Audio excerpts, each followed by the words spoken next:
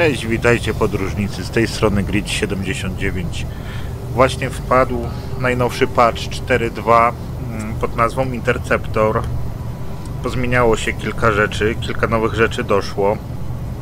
Tak na szybciutko sobie to postaramy się omówić. Od czego tu zacząć? Może na pierwszy ogień wypunktujemy, co napisał sam y, Sean Murray, czyli wpadły nowe, y, zepsute światy, mm, rozwój historii, trzy nowe statki, będą to interceptory, jeden właśnie widzicie za mną, udało mi się go zdobyć, zaraz Wam wskażę koordynaty. Jetpack Sentineli, także możemy mieć no, nowy mm, plecak odrzutowy. Opuszczone obozowiska, które znajdują się najprawdopodobniej właśnie w tych zepsutych światach. Wstawię też adres do tego świata, w którym ja jestem w tej chwili.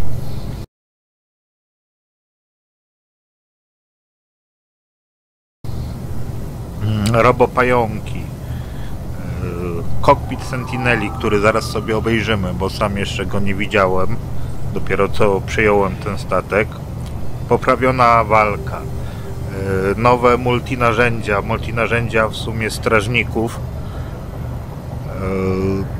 Niewidzialni wrogowie.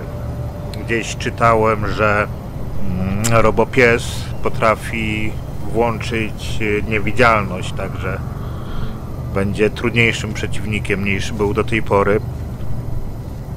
Bitwy z frachtowcami sentin Sentinelist czy strażników, nie wiem jak ich nazywać. Nowe misje w Nexusie. Podobno zakładka na spersonalizowane cuda, zaraz zobaczymy. Bo przyznam się szczerze, że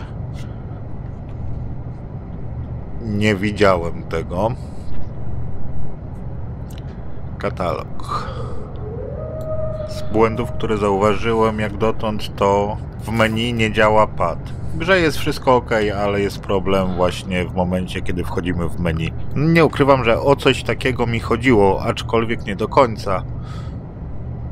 Wspominałem, że fajnie by było móc zrobić sobie wystawkę z tych cudów, które znajdują u nas fregaty, no ale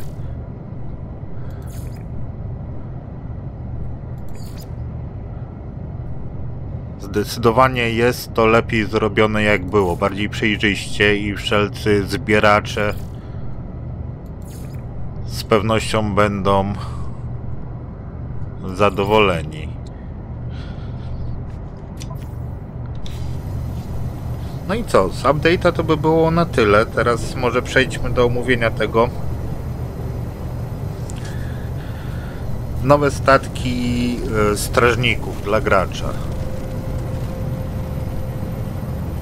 Obadajmy szkarłatnego. Efekt ciekawy, trzeba przyznać. Właśnie. Stój grzecznie. Tutaj macie koordynaty na ten statek. Plus 29,62 łamane na minus 130,70.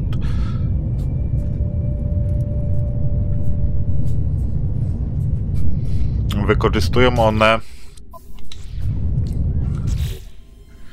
ciut inną technologię niż ta, którą mamy w standardowych myśliwcach. Mamy studnię antygrawitacyjną. No dobrze, nie będę sobie wymieniał, nie będę wymieniał tego wszystkiego po kolei. Sobie sami zobaczycie, jeżeli będziecie chcieli. Ale czytałem też, że spokojnie można wrzucać naszą technologię, więc Najprawdopodobniej będzie można to łączyć. No zaraz zobaczymy. Spróbujmy tym wystartować.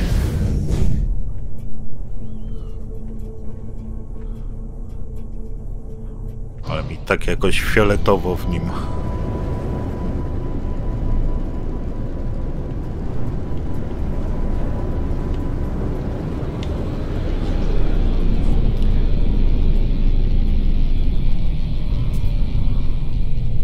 Efekt tego jest, no nie ukrywam, dość ciekawy.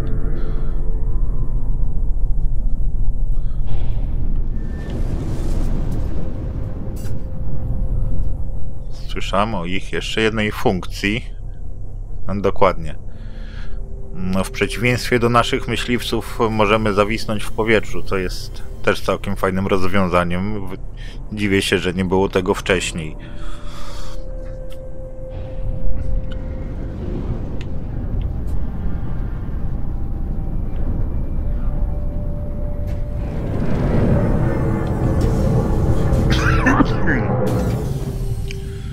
Sobie podlecimy tam, skoro już się napatoczył nam.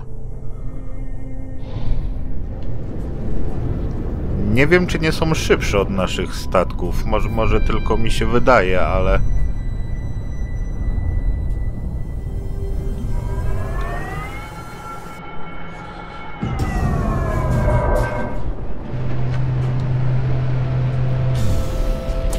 Generalnie chyba są trzy rodzaje. Wam, że to nie jest petarda, ale poluje na innej. Jak znajdę, na pewno wstawię namiary na niego. Taki, do czego on by był podobny.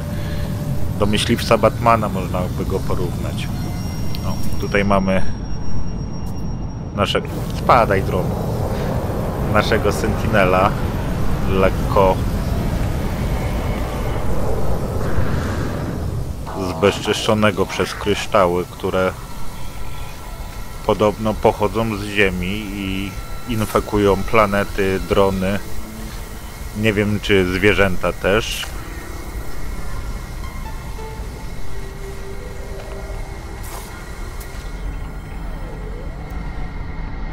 Czy można...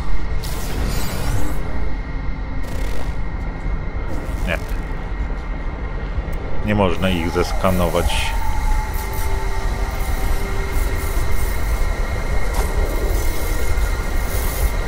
kurde, zebrałbym je, ale zaraz mi się tutaj do dupy... A, zwierzęta chyba też są zainfekowane.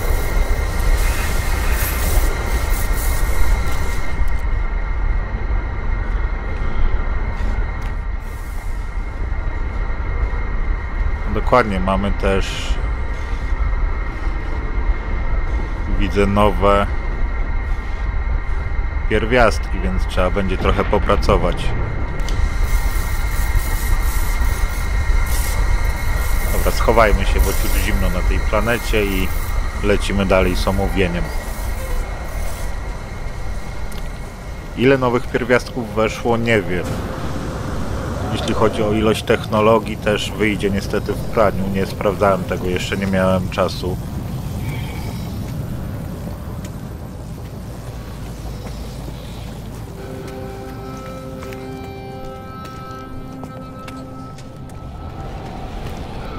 Schowajmy się i lećmy dalej.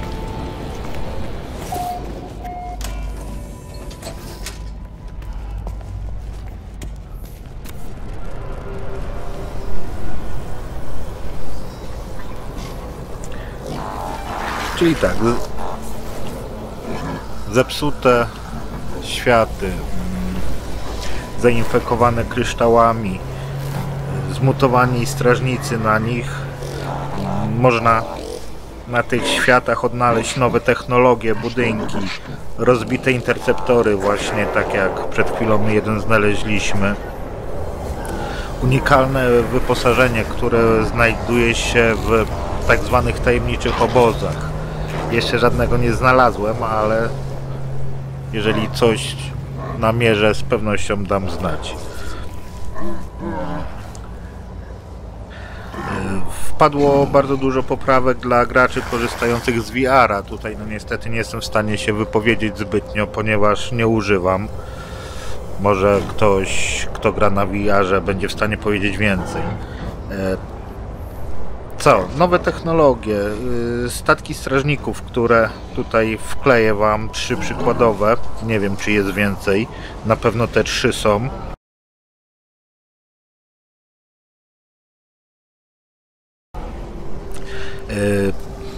Wyposażone są Mm, Statki strażników wyposażone są w nowe technolo- w technologie, które sobie przed chwilą oglądaliśmy.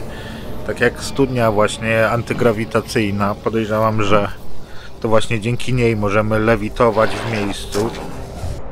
Te technologie będą potrzebowały oczywiście nowych pierwiastków czy zasobów, żeby je zbudować, czy w ogóle też zasilić. Są też nowe multinarzędzia, które też tutaj teraz wklejam. Występują one od klasy C do y, klasy S. Nowy plecak odrzutowy, groźniejsi przeciwnicy, którzy podobno są inteligentniejsi, wyjdzie w praniu. Końcu jest też y, sens atakować frachtowce strażników, ponieważ po ich pokonaniu y, znika status y, poszukiwanego, a dodatkowo możemy zdobyć wartościowe nagrody, jak mówi opis, ponieważ tutaj na opisie patcha się opieram, nie na własnych doświadczeniach jeszcze w tej chwili.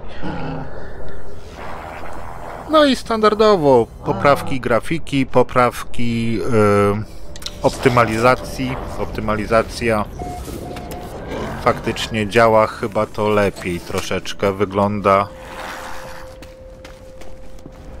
na, na średnich ustawieniach, ponieważ na, na takich gram, żeby to w miarę płynnie mi chodziło. Nie najgorzej, nie? Trochę się zawiodłem, bo liczyłem, że wpadnie też nowa ekspedycja, ale na to pewnie będziemy musieli jeszcze troszeczkę poczekać. Mm. To chyba na tyle. Jeżeli się dowiem czegokolwiek więcej, coś znajdziemy, z pewnością się podzielę w następnym filmie. A w tej chwili ja ruszam do gry. Także do zobaczenia w kolejnym odcinku. Miłego oglądania, miłego grania w najnowszy patch 4.2. Trzymajcie się i do zobaczenia.